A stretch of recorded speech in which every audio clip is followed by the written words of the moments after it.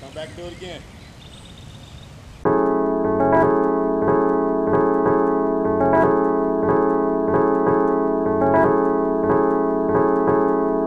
Last week she came to me and said, you know, I want to ride your bike. She attempted to ride it just up to the up to the gas station to get something for herself. And uh, one thing I told her is like, uh, keep in mind, this is not a, you can't just coast on this one. You have to actually pedal. You have to stand up and pedal.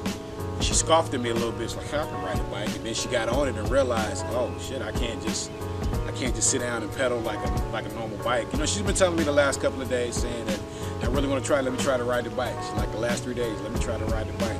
Last night she specifically told me, here, you know, make sure you remind me tomorrow to like uh, try to ride the bike. And I didn't even have to remind her this morning as I got up after the good mornings and everything. One of the first things she said after we took communion was, uh, make sure today can I can I try to ride the bike today? So you know.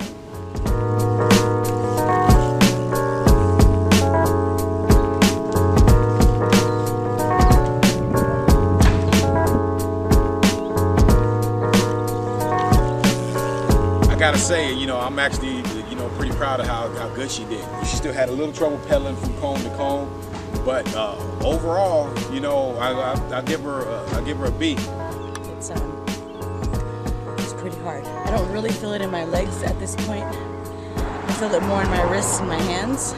She actually seems to enjoy it pretty well, and you know, I think I'm gonna take some time and like kind of show her a little bit of the sports show, what it entails, and, and, and we'll see.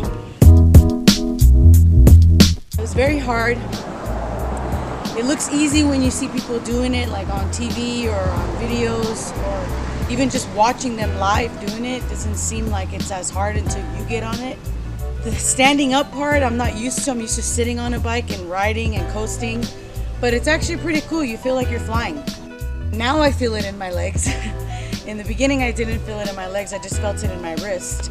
Hey, it's my first time. I really enjoyed it. There you go.